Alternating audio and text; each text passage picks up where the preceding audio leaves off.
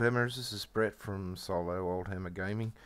I wasn't going to say anything uh, about this, but I've watched a few YouTube videos lately on Warhammer the Old World and how excited people are getting for it and yada yada yada. Um, as you can tell, I'm not really that excited for it. Uh, I was going to have a look at it and then the straw that broke the camel's back was the other day when I learned that 20 mil bases have been scrapped and they're coming out with a standard size of 25 mil. Um, we yet to see what that does to say ogres, uh, minotaurs, stuff like that. That was mounted on a 40 mil base. Um, cavalry has been updated. They're going to a 30 by 50 or something. Um, yeah, rebasing sucks. Uh, I am not a competitive player. I don't play in tournaments or anything like that, and I really, really feel for those that do, to be quite honest. Um, these changes just seem like a bit of a money grab to me as a, a, a pay as you play. Uh, saw the same thing with um, 40k when they updated to 32 millimeter bases. Um, so it wouldn't also surprise me if they didn't cut down the the size of the battlefield to standard like six by four, which is what the Realm of Battle boards came out in, um, and then they cut down the the size of the battlefield for that in 40k. So all those people that had spent so much time painting Realm of Battle boards, if they were going to take those to a tournament to show them off, and even with friends, like I've got, I've got mates that um, wanted to game on the new size, ta- like the new, the suggested size tables for the board, and I was like, no, bugger that. I've, I've painted a six by four, and that's what I'm going to use. So, but I really feel for people like that. Um, the whole thing about oh, you can just get movement trays that'll bump the troops out to to the right size. Why should you? Why should you? To be quite honest, um, that's just more cost. And let's face it, like this hobby's not getting any cheaper. And um, that's that's why I think I like Oldhammer so much because my Skellies, my Dwarves, my Norse, they're on 20 mil bases. My Empire will be on 20 mil bases. Uh, my Orcs, my Beastmen, my Chaos, they're on 25s because that's what it says in the book. And that's what they'll stay on. So I have heard a lot of people saying that oh the 20s sucked because it was so hard to to um, rank troops up. Well, with a bit of forethought and planning, that wasn't a problem. The, that was never ever a problem because you just had to plan a bit better. And the old figures, they didn't have all these bells and whistles that are attached to what like the newer miniatures have. Like, let's um, well, let's take uh, the Griff Oberwald miniature for Blood Bowl as a a prime example. I didn't like the the third edition Griff Oberwald miniature with the with the hi hat. Jervis Johnson himself said that they shouldn't have gone away from the more like football player style and try to turn it into uh, Warhammer Fourth Edition fantasy battle looking sort of player. And now, for the second second season of Blood Bowl, Griff Oberwald's got like a an eagle or a hawk or some bloody thing hanging off his arm. That'd definitely make it harder to base up on a 20, to be quite honest. Even a 25 because there's so many bells and whistles that they want to attach on here now to make the figure look cool and added extras and all that. I'm over that. This is a rank and file game.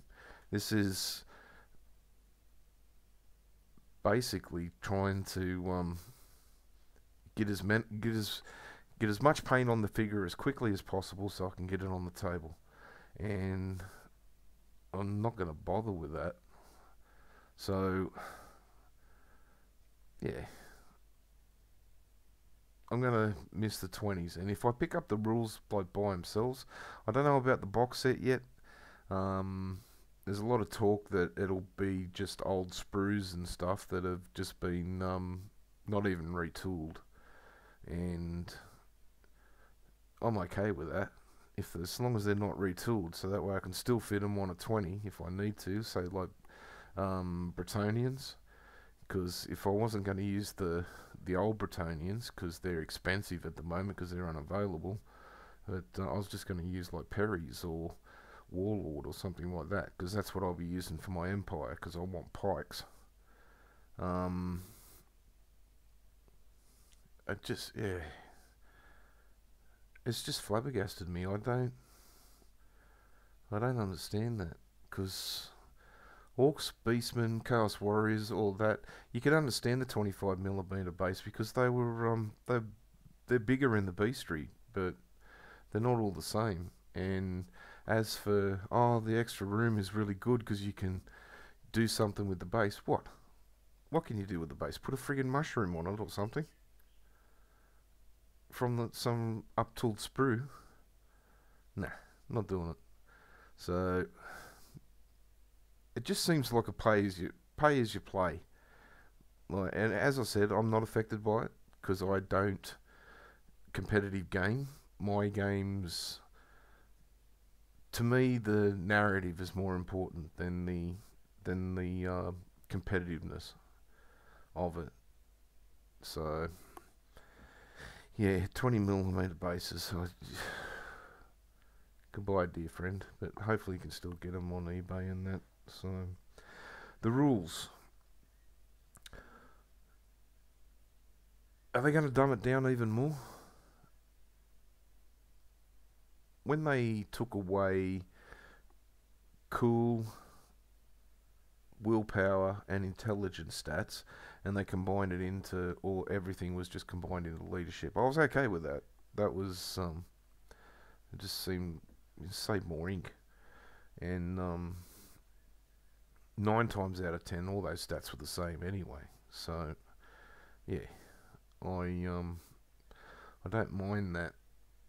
That didn't seem like a dumbing down to me, but when fourth edition came along, I couldn't form shield wall anymore. I couldn't form square. I couldn't um. Only Bretonnians could do an uh, arrowhead formation. Only Bretonnians could form a wedge. Um, there was so much maneuvering and stuff that was lost just to simplify it, to just uh, line them up, push them across the table, and let them have at it and roll bucketfuls of dice. Uh, the whole um, if you lose a combat and you fail your leadership, then you break, and if you get caught, that um, I think that was just put in so they could resolve combats quicker, honestly. But um, I do, I do like the pushback and the the follow up and whether you hold or not, or if you break automatically. If psychology means something in Oldhammer rules at the moment, especially third edition. So, yeah, that's that's a bit different and with the rewriting of the rules, I'm just worried that they're gonna. 10th edition Warhammer 40k is nearly on us, and there's certain stats on there that are missing now. So I'm wondering if they're going to do the same thing for the old world. So, not impressed. Not impressed. I just, for the sake of the competitive players that are going to take the time of rebasing everything, I just hope the rules are good. Oh, yeah, like I said, I might pick them up and see what they're like, but yeah, I'm quite happy with Oldhammer the way it is. And the other thing that amuses me is I've watched a couple of YouTube um, reactions and that, and people have been saying, "Oh, Bretonnians are back! Bretonnians are back!" Oh, wow! Did you read this little bit that says um, Foot Knights? Oh, that's no biggie. That is definitely no biggie to me. We've got Foot Knights in fourth edition, in um, third edition. Sorry, the best edition. We have them. They're already there. The Citadel Miniatures released some Knights on Foot, so they put the they put them in there. So that's that's no biggie. We've we've already got that. I'm pretty sure that uh, Foot Knights for Bretonnia and and um, I'd have to double check my Empire book for the fourth edition, but the Reiksguard could be taken on foot. Definitely in third edition. I'm, I just can't remember for fourth edition. I'd have to go and grab my book and have a look. But like, I know in fourth edition the Empire could take uh, ogres, dwarves, halflings as well, but you could do that in third edition. It was, I think it was sixth edition where they lost, where the Empire lost that. I was an Empire player, as you could tell, as you can, as you can tell. But um, hmm, it just yeah, that just blows my mind. It's like, well, we've already got that. That's no biggie. Like, couple of times, y'all. Bretonnian Knights have been slugging it out on foot since 1988 or something. so, which brings me to the, the other thing that I've seen is um, all of them seem to hone in on um, on the Warhammer the Old World map, and it's got a hold like a dwarven hold in up north for Norse dwarves, and they're all um, oh, wouldn't that be awesome? You know, Norse dwarves, Norse dwarves, Norse dwarves. We've got them in uh, Oldhammer, so we've had them for since day dot, and we've had real Norse too, not Chaos lackeys or yeah, Chaos marauders running around. That's a, that's in they're in the Chaos Army. The Norse Army are Norse. They are based on the Vikings from well, well, everybody knows what a Viking is, but that's what they're based on. And yeah, they're not Chaos lapdogs. They do trade with the Norse dwarves. They do fight with the Norse dwarf. They fight with them and against them. Basically, because they love battle. White Dwarf 107. That's all you got to check for that. So we've already got Norse dwarves, and I can't see the Norse dwarves come make, making an appearance in the old world. I really can't. Number one, they're not on uh, Warhammer Total War, and I can't see Games Workshop doing that. But you never know. I never thought they'd end Warhammer Fantasy Battle, but there you go. Because um, that was the other thing that I saw, especially about the Bretonnian Knights. It was, um, oh, just write it, write it in the lore, write it in the lore, do it, Games Workshop, do it, write it in the lore. Well, isn't that what's got them in the trouble in trouble in the first fucking place? By writing lore that was just total crap. So I don't know what I think about that. Don't write anymore. You've got a timeline that you're going to use. Honour it from those that come before you and wrote this game and leave it that way and just settle it in there. Now, army size. I'm not sure how big these armies are going to be, to be quite honest. I really don't know. Because third edition armies are not too not too bad sized, to be quite honest. Fourth edition, they're around the same, around the same. Fifth, the same. Um, fourth and fifth is basically like fifth. You could probably call 4.2 or 4.5 or something, but sixth edition, yeah, I sort of fell out after sixth, and then had a little look in the door at eighth, and the size of the armies then were just ridiculous. Um, yeah, there was no way I was going to have huge blocks, so that was out. But um,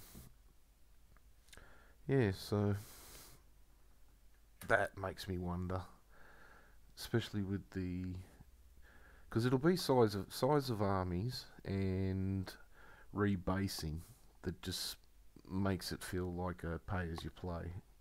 So yeah, basically in in rounding up or in summing up, not rounding up, but summing up, I'm I'm not too excited for the old world. I don't really care. Um, I like third edition. I love third edition. Third edition is my favoritist edition, and do yourselves a favour. If you can get a copy of the rules, read through them. They may seem clunky and everything like that, but you can house rule whatever you want. So you can get rid of the reserve phrase and just take from fourth and fifth edition where a march move. Um, I don't. I I play the rules as they were written because that's what I'm used to and that's what I want to learn again. So, but yeah, not really, not really interested. I'll probably I'll have a looky. Um, I don't know what my mates are doing with it. I don't know if they're gonna have a look at it or anything. They're um, they've got the 40k bug so hard they probably won't even care to look. So, but time will tell. But um, yeah, other than that, I just yeah, just wanted to have a my thoughts and views, and they're totally my personal thoughts and views. I'm not happy with the move to bases, and yeah, stuff that. Not doing it. I don't competitive game anyway. I'm gonna, I'm quite happy to stick with me one book for every single army and a White Dwarf edition. Well, there's two, two White Dwarf editions because there's a Familiar army and another White Dwarf issue. And um, yeah, I'm happy with that. Quite happy with that. I'm getting ready to do the siege battle. I'm just going through and working out what else, what else I need to paint and buy. Um, got most of the dwarves there. I need a halfling though. Got to get a halfling, but I'm trying to get a halfling for under sixty bucks. So thanks eBay. I suppose I could go after market, but yeah, I wouldn't mind a um, few GW ones from back in the day. But yeah. But other than that, guys, thanks for climbing to the uh, Oldhammer Mountain with me. Thank you very much for subscribing. I'm uh, actually fiddling around with uh, DaVinci Resolve today uh, to do this do this video, hoping that the sound quality is a bit better. Um, that was uh, yeah was a bit of an annoyance. I did not know what to do for the sound, so hopefully I'll fix that up. I've watched a stack of um, tutorials and things, but yeah, that's all all part of learning and yeah wanting to make my channel better. So um, yeah, just learning that today. So thanks for climbing the mountain. Thank you to all my subscribers sticking around, and uh, definitely guys Stay cool. Well, stay even cooler. Stay Oldhammer.